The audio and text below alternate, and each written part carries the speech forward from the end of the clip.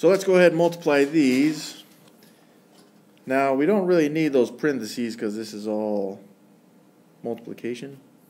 So let's get rid of those like this.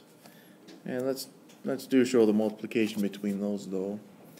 The reason why we would want to do that is because now we can use the commutative property to move all of the like, I guess, multiples or factors next to each other. So 6.7 times 1.4. And then I have my base 10s times 10 to the power of negative 12 times 10 to the power of 9. So let's look at the 6.7 times 1.4.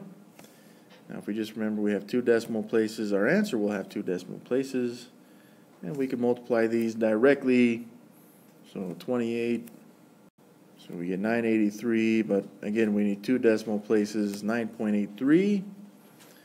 9.83 times, let's look at the 10 powers, this is 10 to the power of negative 12 times 10 to the power of 9. So what are we going to do with those exponents?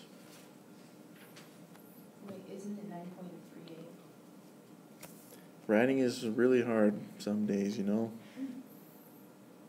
That was a good save, I guess.